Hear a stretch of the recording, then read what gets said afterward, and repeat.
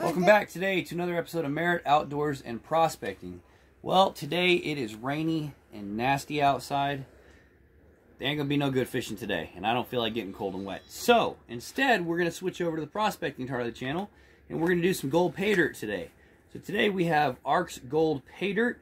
It's arxgold1 at gmail.com or arxgold.com. Now, this is the half gram guaranteed bag of pay dirt. Um, it's one pound, and one out of every 10 bags they say they put a nugget in. But we all know how pay dirt goes with nuggets. They're usually not nuggets, they're little flakes or pickers. So, we're going to go ahead and open this bag up. We're going to stick it in my gold pan we got here. And we're going to check for magnetite, and we're going to see what we got. Then we're going to go ahead and pan it out and see what type of gold we get today. Um, to do any type of pay dirt, a couple gold pans are good to have. I got a 10 inch and an 8 inch. The 8 inch I don't usually pan with. It's a little small. The 10 inch is a little better. So it's uh, they're both small. They're easy to put in a backpack, take prospecting on the creek. We also have a magnet. Check for magnetite any type of ironstone that's in there to see how difficult it's going to be. And then we got a little scoop shovel here so that we can scoop our gold out. And we got a snuffer bottle. Snuffer bottles are great to have because you can suck up all that little gold and you can keep panning as you go. So let's get right into it and see what we got.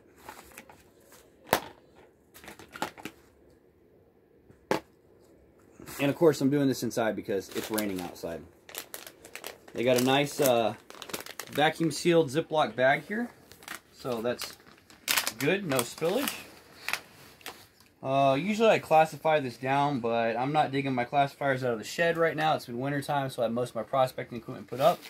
And just go ahead and we'll see what we got in here.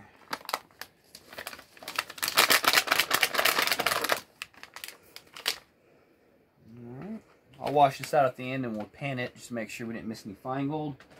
So let's go ahead and uh, check our magnify magnification here, see what type of iron. Oh yeah, there's quite a little bit of magnetite in here.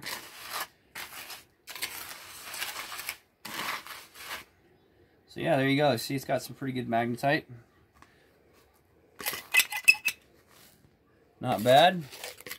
And most of the time you can pull this magnetite out and you don't have to worry about getting any gold because uh, when it's not wet, the gold doesn't stick to the iron still. But if this was wet and we classified it wet, then we would have to, any magnetite we pull out, we have to put in a separate pan and we'd have to pan it out as well because gold will stick to wet ironstone and wet magnetite. So we're just going to pour that back in. We're going to go ahead and pan it the way it is.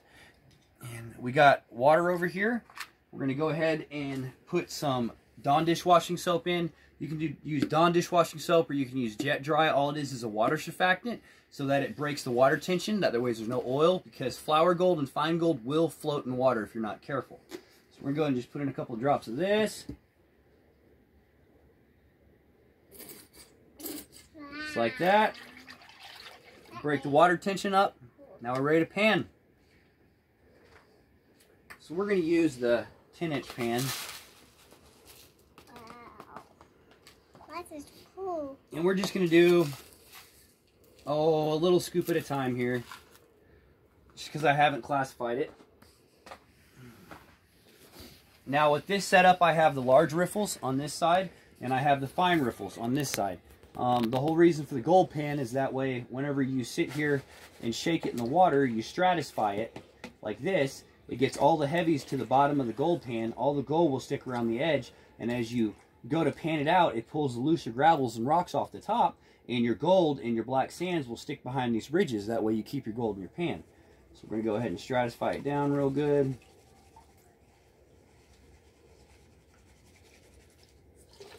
Just like that. And we're going to start panning her out. I usually stratify it. Do a couple pans there. Stratify it back down. Do a couple more and just keep using that process back and forth.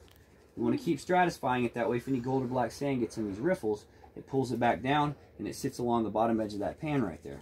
We're just going to use the big riffles on this one. Just because we got some larger gravels in there. Now, it is important when you're doing any gold dirt that you use a catch basin and that you go back over your dirt several times, not just once, because you will miss gold dirt. I've missed gold inside there and gone back and panned it two or three times later and found more gold in the dirt. So you can be a professional and get 90%, but that 10% of gold is still there.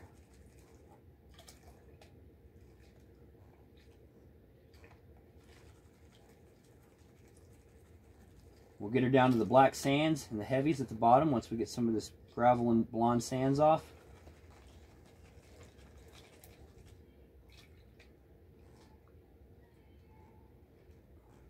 Getting closer now.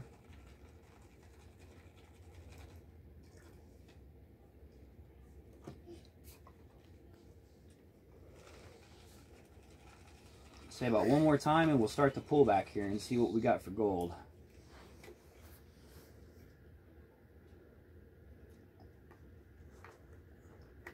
I can already see black sand starting to show up in the bottom of my pan around the sides here. And that's good. We just want to try to get the blondes off, but that black sand is really what we're looking for right down there. That's where all your gold's going to be hiding. Gold is heavy, lead is heavy, iron is heavy, so it all sticks to the same. When you're prospecting on a creek, if you're finding bullet shells and lead and nails, you're usually in the right spot if you got black sand because everything heavy will come there. All right, so now we're going to go ahead, put a little water in here, and we're going to pull it back, and we're going to see what this little scoop of uh, little scoop of pay dirt here gives us. So when you pull it back, you want to put the water to the top of the pan, and you want to slowly pull back what's left over there.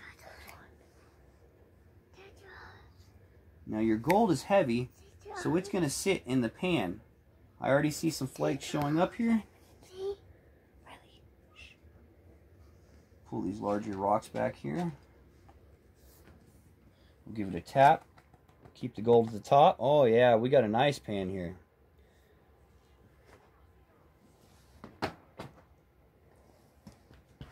Alright, so as you can see as I'm pulling back, our black sands are what's left over. And you see all the gold flake in here. All the gold that's in there in the black sands. And these heavier ironstones right here, we can push them out of the way. That's fine. Just heavy ironstone. That's some of the magnetized iron. But you can see we got gold there. So I'll see if I can do this left-handed. So then I just sit here and I keep rolling the black sand back.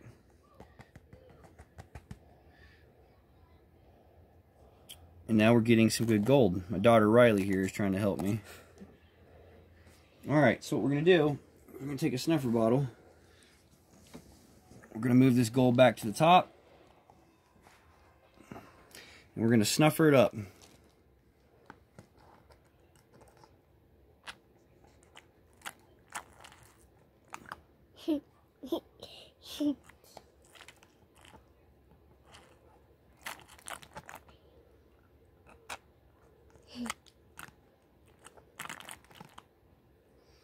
All right, I think we got it all there.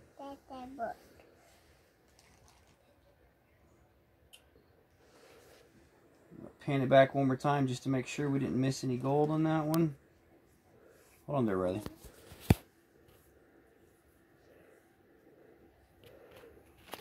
Yeah, see, I missed some gold right here. You guys give me just a minute. I'm going to change my lighting in the room real quick so you can see this a lot better. So just hold on one second. Alright, so sorry about that. I had to change some lighting here so you guys can see a little easier. So yeah, we got the gold out of there, but what I was going to show you is when you pan back, you see how you get that black sand in there? You got a lot of garnets, black sand, stuff like that. That's your ironstone. That's where your gold likes to hide when you're prospecting rivers and creeks. And here later on in the summer, whenever it gets a little warmer out, we will actually go out and I'll show you where to prospect and what to look for in old gravel bars, ancient channels, things like that, how to look through bedrock. Um, here in Nebraska, there's a few spots where we still have bedrock on the rivers and like the South Platte, but you got to go more towards Wyoming. But we will be taking trips down to Colorado this year and going down to some of their free panning sites down there on some of the old dredge piles from back in the 50s. And that is really fun. We'll be using river sluice boxes and stuff like that. So let's go ahead and get another scoop in here and let's see what else we got.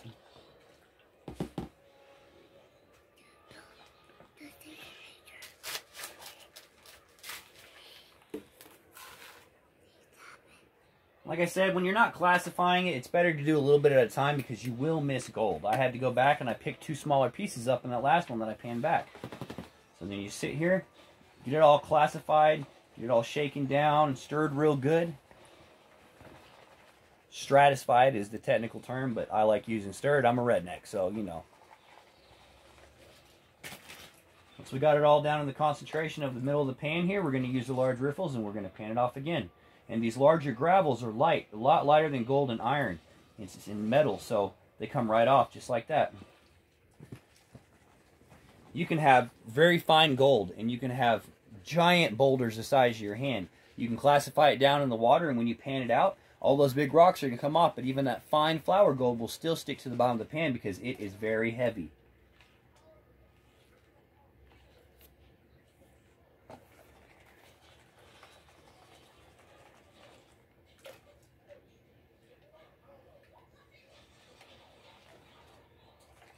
And like I do, I dip it two or three times and I turn around and I stratify it again. Get everything back down in the small corner there on the bottom underneath the first riffle. And then I pull it back off again. At this point in time, all the gold is sitting down below that first riffle. So you don't really have to worry about it coming out. Your black sands and your gold, like I said, stays at the bottom. Got some bigger rocks in there, but get rid of them. We don't need them.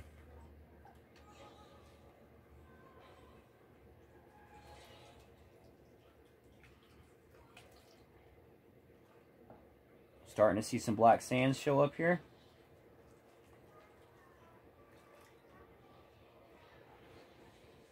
take off a little bit more and then we'll pull it back and see what we got. Do this one more time.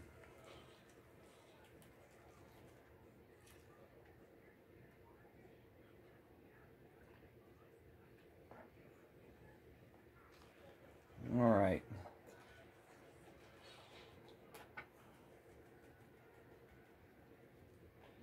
All right, so now we're going to pull it back again.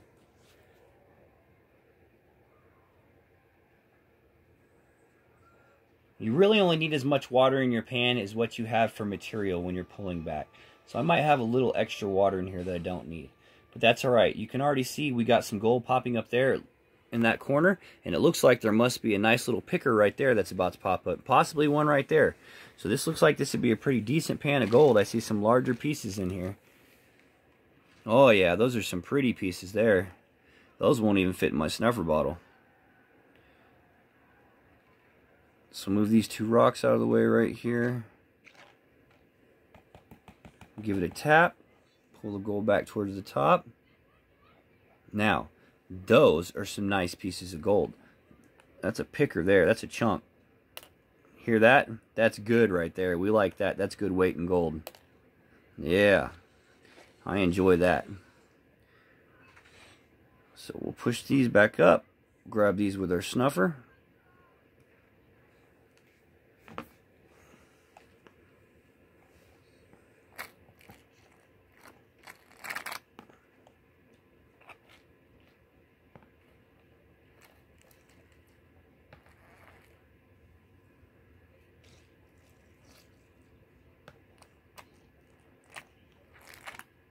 Don't think that piece will suck up, but we will try. Oh, we made it. All right. So yeah, as you can see, we got some gold already showing up in the snuffer bottle. And when we get done, we'll throw it all in the pan and take a look at that.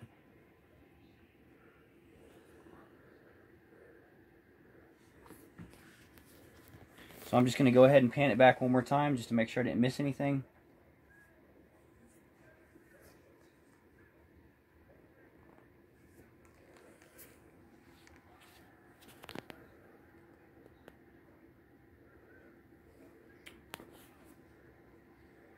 And that pan looks good. I don't see anything that we missed in there.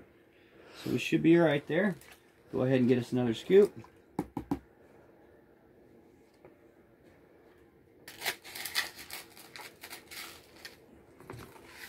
We'll do just a little scoop. I think that one big piece got stuck in my snuffer.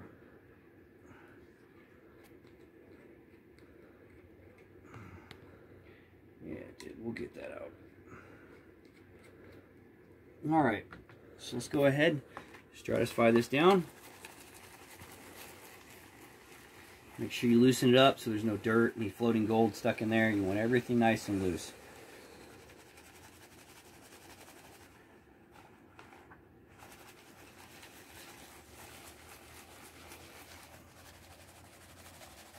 Stratify down the corner.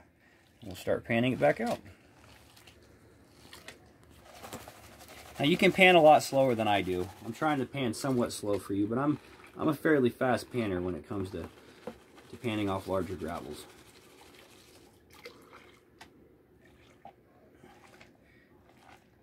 I have enough faith in my panning skills. I know I'm not losing anything extreme. I do always check it again, but most of the time it's only a couple of small, small flakes that I miss.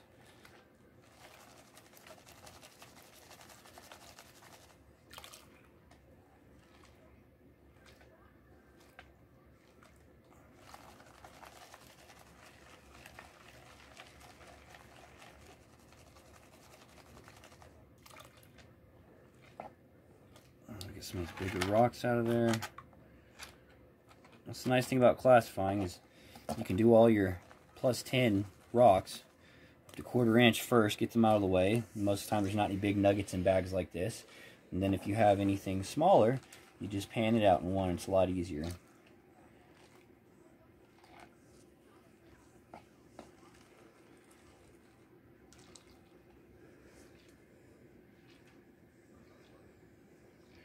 Alright, we're starting to get down to some black sands here. Just one more time, take some more of this blonde sand off. Alright.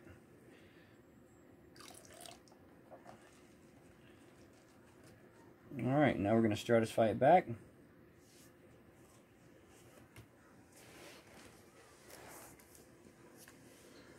Mm, got some nice gold in here too.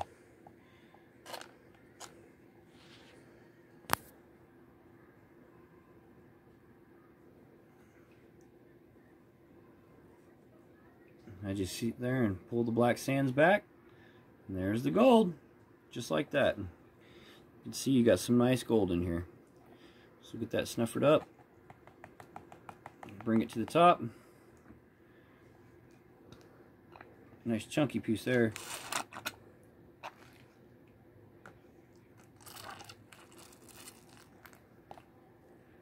There we go. Alright, so we're to pull that back one more time. Just real quick. Make sure I didn't miss any fine flour gold. Usually the flour gold is the naturally occurring gold that you find. It's not often that you buy a pay dirt that's classified and actually been through, or being seeded is what I call it, and find larger chunks of gold they didn't know were there. But you can find flour gold if you watch, and most of that's naturally occurring gold in the dirt already. We look good on that pan some more in here. We'll do a little bit more this time.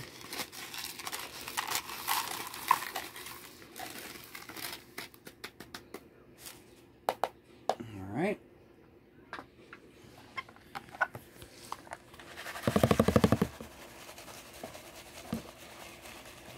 Stratify this really good since we got a little more material here. And this uh, pay dirt really isn't that dirty. There's not a whole lot of uh, sticks or leaves or anything like that in here a lot of times you'll get it that'll just muck your water up real bad. Um, and there's nothing wrong with that. It's just a little more difficult pay dirt to do.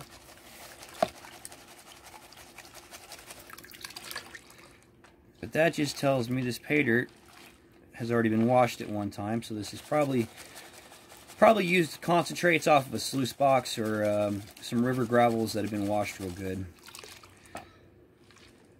There's a lot of round gravels in here, so it does look like river material.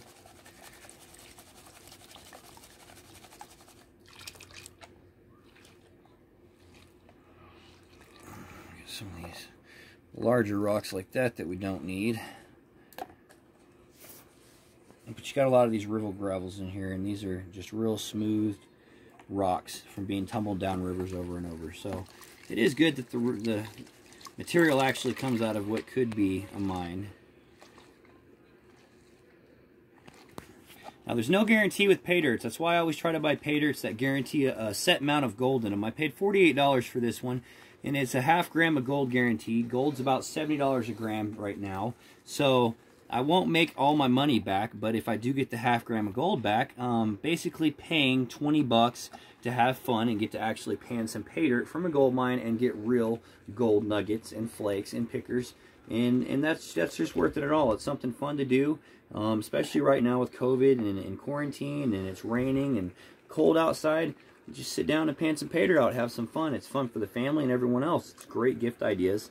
So, you know, um, I would check out Gold Bay and um, Dave over at Gold Bay out of Colorado has the some of the best prices on gold pay dirt. You can buy as 103, 103% ROI, which means return on investment on spot price. So if you're paying for a $60 bag of gold, you're getting $60 worth of gold out of it. So you're actually getting your money.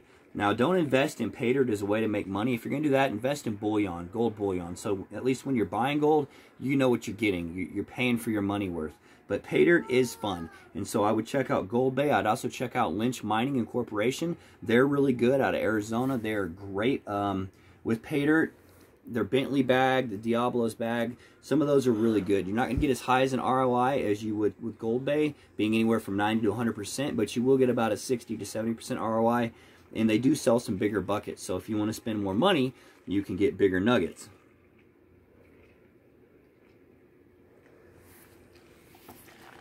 Alright, now we're getting down here. Down to our blondes and our blacks. So we're going to go ahead and stop there. And we're going to pan this back. Oh, wow. There's a nice big piece in this one, guys.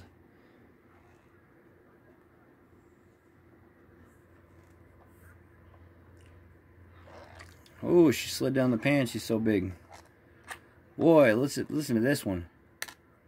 That's a nice piece of gold there. Look at that piece of gold. That's a nice piece. That's a chunker there.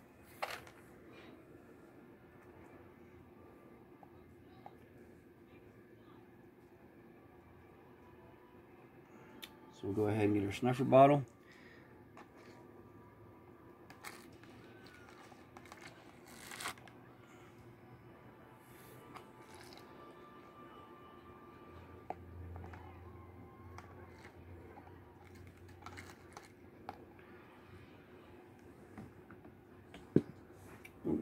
drop my bottle. Now I know this one's not going to fit in the tube, so we're going to have to open it up and put it in there. That's a little big of a picker to fit in that too, but that's a nice piece of gold. It's a very nice piece of gold. So go ahead and drop that one in. Clunk. Alright. Like I said, I'm going to double check it real quick. Pan it back again just in case I miss some fine gold here.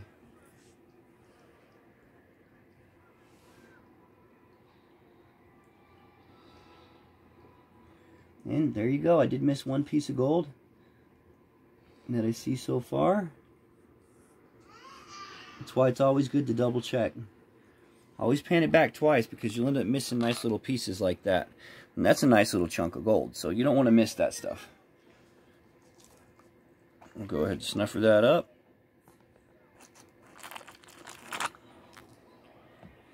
Boy, listen to that. Don't that sound good? Gotta love it when you got gold rattling. Alright, we'll go ahead and do this last pan. And then we'll pour the snuffer bottle out, clean it up, and show you what we got in all.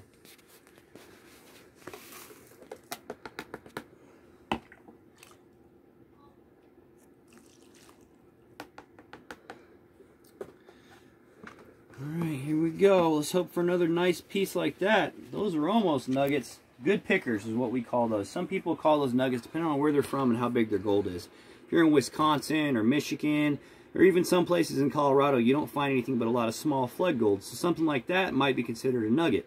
But I consider a nugget two grams and more. Get her stratified down. Just start panning her back.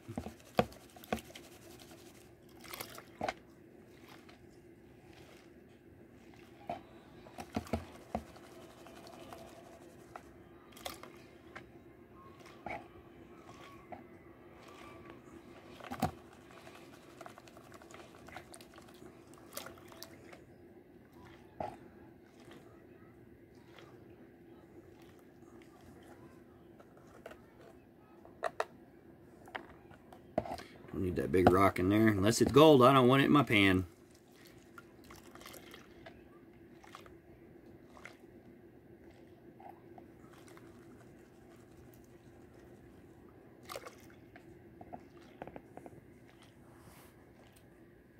Alright, we're getting close. Blondes are almost out of here. Almost down to straight black sand here.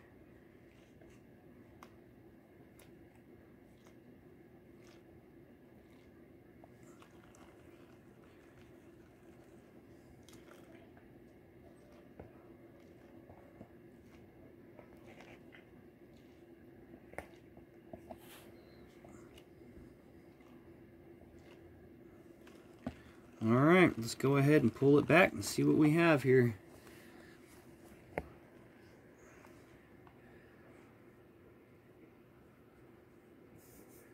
I'm right-handed, so I usually pull it back with the right hand, but you can see I already got some gold right there. Trying to pop out on me. So we'll rotate the other way.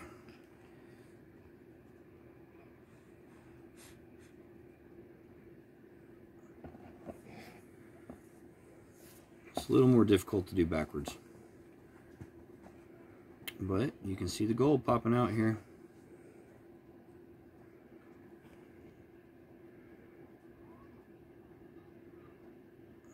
Alright, so we'll go ahead and snuffer this up.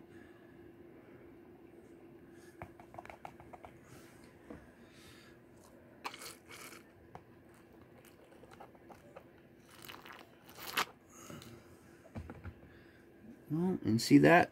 There's some of that really fine micro gold right there. Now that right there is naturally occurring gold.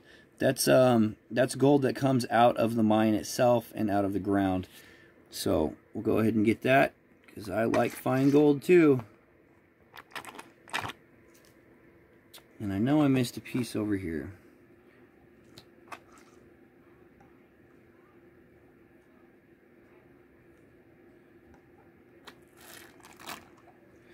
So now I'm going to go ahead, pull it back one more time forward. That way I can do it the right way.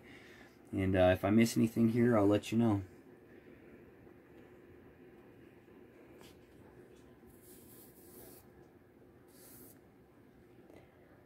And sure enough, I sure did.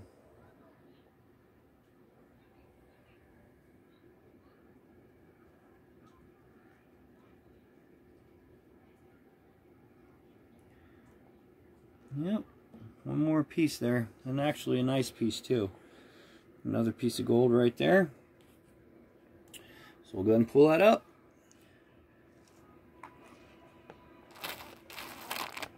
All right, sounds pretty good. We're gonna have to take a look and see what we got. So now we'll empty this pan out.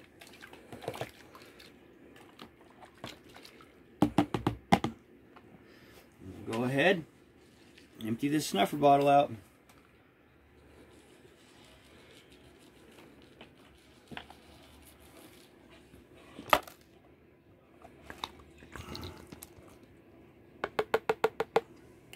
Oh, it looks like some good flash in the pan to me.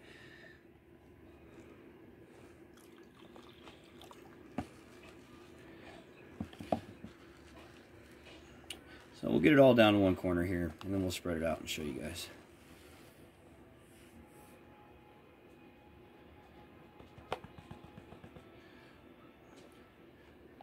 There you have it. Some nice gold. Really nice gold.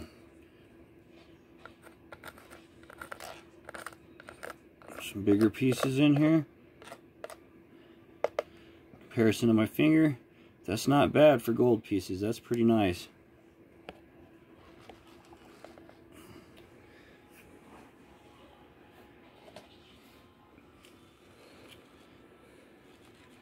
So hopefully this has been an interesting episode. It's not real long, I know that. Um, I will have some more in some bigger bags of pay dirt that we will be doing in the future um, with more gold. But I just figured I'd show you what a half gram a bag looks like. Now, Arx is on eBay, and he is one of the few eBay sellers that does give a guaranteed minimum. And I can tell you right now, um, there's at least a half gram of gold here, if not just a little bit more. There are some pretty nice pieces in there, and gold is heavy. So, I don't have my scales out right now. I have them packed away. Um, so I might get them out later and make a thumbnail clip of what the weight came out to. But I'm telling you, we got we got our half gram for sure. There's some nice pieces in here, some really nice pickers, and it's really nice gold. It's all real. That's what we're looking for. So if you guys have any questions about pay dirts or if you have any requests on pay dirts you've seen online that you want me to try, um, just send me a comment below this uh, this video and I will try those pay dirts out. I will buy them and we will see what we get out of them. Um, reviews are really good. If you want to see somebody that has really good reviews, go to millerprospecting.com and uh, or Miller Prospecting on YouTube. And he does pay dirt reviews of every type of pay dirt you can imagine um, in really educational guys. One of the, the Dylan is one of the one people that I watched more than anyone else on YouTube, and it's where I learned how to do a lot of my prospecting videos. You've also got KleshGuitar.com where Klesh is Gold. Um, he's out of Colorado from Denver. He does a lot of gold panning down and around the United States where there's different gold areas and belts that are rich that you can actually go to and pan for free without having to have a license or own the land. And then you also have Flour Gold Wizards out of Wisconsin. And he's great for small flour gold. He does nothing but panning out of the creeks. Um, not a lot of pay dirt reviews, but he shows you a lot about prospecting and what to look for. So check them out too. I appreciate you. Please subscribe to my channel. Hit that like button. Hit notifications and leave me a comment below if you want to know anything else. Have a great day.